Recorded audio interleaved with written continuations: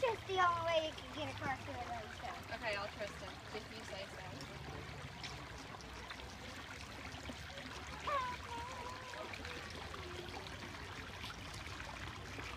Dad, Which ones? Which ones? Dad, the do you, flat ones? do you see this? Yeah, it's pretty amazing.